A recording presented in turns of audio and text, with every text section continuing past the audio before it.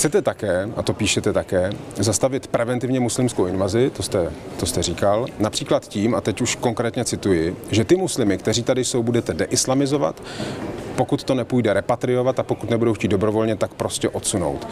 Zajímá mě, jak si představujete tu deislamizaci. To je na dlouhou debatu, ale je to hrozně zajímavé téma, protože